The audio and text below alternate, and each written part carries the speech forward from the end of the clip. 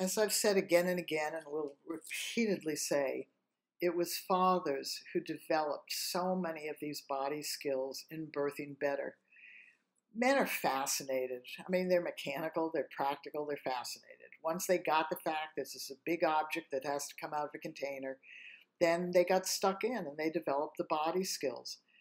Yet in labor, they also saw something else. When women birth, when I labor, I am very 100% invested in the experience I'm having.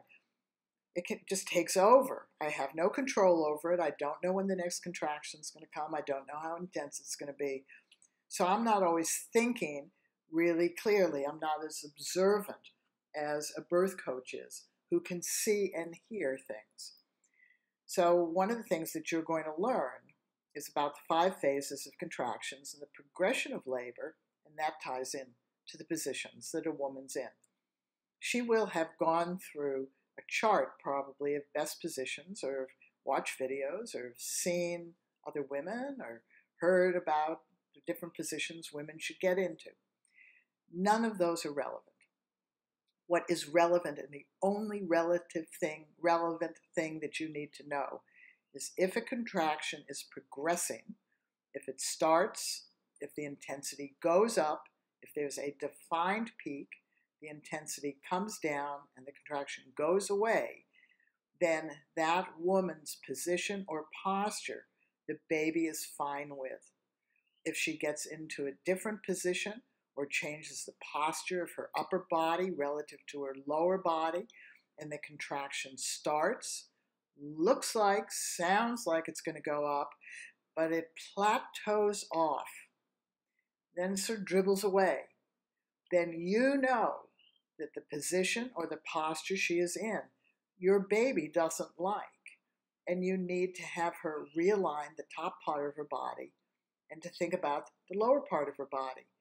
This big object inside doesn't want its space bent. That's why, if the top part of the body is bent forward, for some babies, that hinders its ability to open up, come down through and out.